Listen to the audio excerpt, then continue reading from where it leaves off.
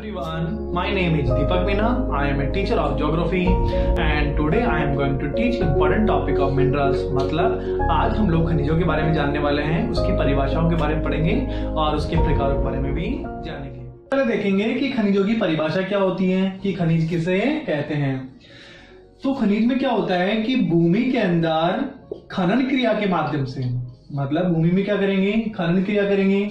और खनन क्रिया के माध्यम से कुछ पदार्थ निकल के सामने आएँगे।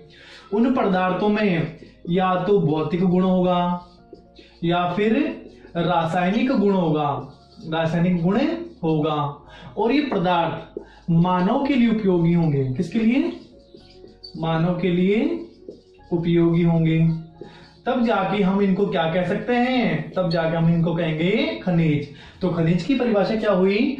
कि भूमि के अंदर खनन क्रिया के माध्यम से निकाले गए वो पदार्थ, जिनके अंदर भौतिक और रासायनिक गुण, या तो भौतिक गुण पाया जाएगा या रासायनिक गुण पाया जाएगा, और दोनों गुण भी पाए जा सकते हैं। तो गुण पाए जाने के बाद में वो मानव के लिए उपयोगी हैं। तब जाके उनको हम लोग क्या कहते हैं? खनिज कहते हैं। फिर हम लोग बात करेंगे खनिजों के प्रकार के बारे में बात करेंगे। तो खनिज, खनिजों के प्रकार। तो खनिज के जो प्रकार होते हैं, दो प्रकार के होते हैं खनिज। पहला हम लोग बात करते हैं उससे कहते हैं धात्विक खनिज। कौन सा खनिज? धात्विक खनिज।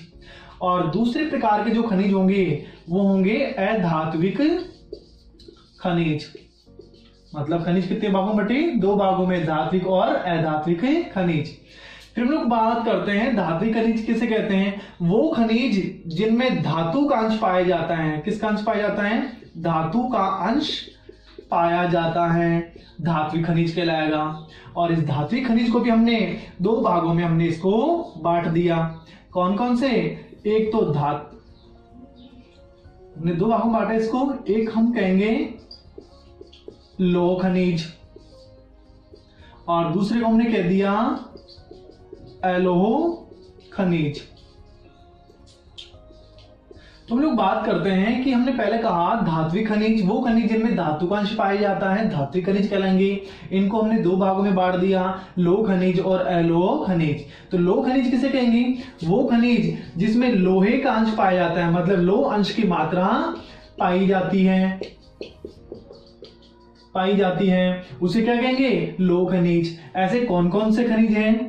हमने बोल दिया, लोह अयस्क। हमने बोल दिया, टंगस्टन। हमने बोल दिया, कोबाल्ट। ओके? ये खनिज कौन से हुए? लोह खनिज। फिर हम लोग बात करते हैं अलोह खनिज। हमने पहले बात की लोह खनिज, अब बात कर रहे हैं अलोह खनिज। तो अलोह खनिज किसे कहते हैं? वे खनिज जिसमें लोह का अंश नहीं पाया जाता। अंश नहीं पाया जाता। उसे क्या कहते हैं? अलोह खनिज। इसके अंदर कौन कौन सा आएगा? सोना, चांदी, तांबा, पीतल आदि चीज़ों को हम लोग मान सकते हैं। फिर हम लोग बात करते हैं धात्विक खनिज पढ़ने के बाद में हम लोग बात करेंगे अधात्विक खनिज। वे खनिज जिनमें धातु का अंश नहीं पाया जाता धातु का अंश नहीं पाया जाता। वो क्या कहलाएँगे? अधात्विक खनिज। इन अधात्विक खनिजों को हमने बोल दिया ऊर्जा खनिज। कौन से में ऊर्जा खनिज। फिर हम लोग बात करते हैं ऊर्जा खनिज कैसे कहते हैं। वे खनिज जिनसे ऊर्जा की हमें प्राप्ति होती है, क्या कहलाएँगे? ऊर्जा खनिज। इस ऊर्जा खनिजों को हमने दो भागों में बांट दिया। एक को हमने बोल दिया ईंधन खनिज। दूसरे को हमने बोल दिया अणुशक्ति खनिज। अणुशक्ति खनिज। तो ईंधन खनिज किसे कहते हैं? वे खनिज जिससे जिनसे हमें ऊर्जा की प्राप्ति होती है, वो क्या कहलाएँगे? ईंधन खनिज। जैसे कोयला, पेट्रोलियम और गैस। ठीक है? इसके बाद हम लोग बात करते हैं अणुशक्ति खनिज। वे खनिज जिनसे हमें ऊर्जा तो प्राप्त होती है, लेकिन छोटे छोटे अणु से भी भयानक ऊर्जा उत्पन्न की जा सकती है। उसे क्या कहेंगे? अणुशक्ति खनिज। इनमें कौन कौन सा आएगा? जैसे हम बात करते हैं यूरेनियम,